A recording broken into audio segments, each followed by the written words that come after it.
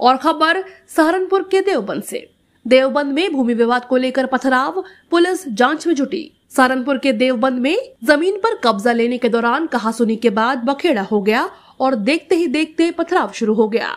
मामले की जड़ भाजपा नेता द्वारा कुछ दिन पूर्व खरीदी गई ज़मीन बताई जा रही है। कोतवाली देवबंद की खाना का पुलिस चौकी क्षेत्र का पूरा मामला है। सूचना के बाद मौके पर पहुँची पुलिस को देख झगड़ा करने वाले लोग तो मौके से फरार हो गए और पुलिस मामले की जाँच में जुट गई है। एसपी देहात सूरज राय ने बताया कि प्राथमिक जाँच के बाद मामला ज़मीन को लेकर बिगड़ा है, जिसकी जाँच की जा रही है। जो भी दोषी होगा, उसके खिलाफ कार्रवाई की जाएगी। सहारनपुर से मोहम्मद कलीम अंसारी की रिपोर्ट। देखिए, अभी सूचना मिली करीब देवबंद में खानका चौकी क्षेत्र में एक कहीं दो पक्षों के बीच में खतराव होने की और गोली चलने की सूचना मिली है और मौके पर आवश्यक पुलिस बल वहाँ मौजूद है और आवश्यक कार्रवाई कर रहा है।